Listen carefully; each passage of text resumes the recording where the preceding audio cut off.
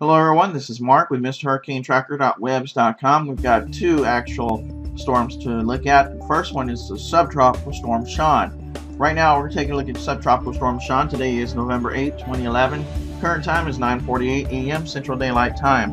Tropical Storm Sean actually came off the southeast of the United States and went into the water and was able to tap into that warm water and actually become a subtropical storm. So it's not really much to worry about for the east coast of the U.S. The east coast of the U.S. is pretty much in the all clear, except for maybe Bermuda. And of course, I'll continue to keep you posted on that and what's going to happen. Now, the storm may actually gain strength, it may not. I'll continue to keep you posted over the uh, course of the next couple of days.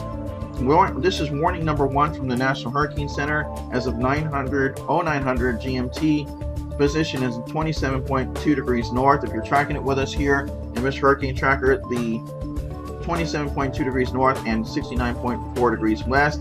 Location 445 miles southwest of Bermuda. Movement right now is stationary, so it's pretty much sitting there right now and is actually probably gaining strength as we speak.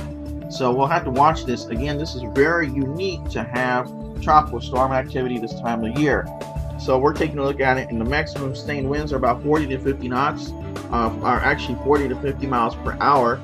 Winds uh, in the area of the center probably about 34 um, knots. And again, of course, I'll continue to keep you posted. Now, right now, there is no threat to any landmass at this time, but we will have to watch Bermuda very close, and of course, the states of the eastern seaboard. But right now, it looks like everybody is in the all clear. So, guys, keep in mind, everybody looks like they're in the all clear. We've got storms here in the Midwest going down from Texas all the way up and of course, I'll continue to keep you posted on that because we still have problems with people in Connecticut where there are still people, over 300,000 people still without power and may still be without power throughout the week.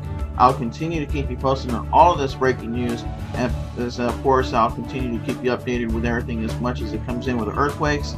Now, I'd like to do an earthquake update probably later on today or tonight when I get back from work. So, again, thanks for watching, guys. Please rate, subscribe, and comment. I'll continue to keep you posted on this breaking news with, of course, our subtropical storm that's out here in, in this area. And, of course, I'll continue to keep you posted. The very, very interesting news and updates. Thanks for watching, and have a great day.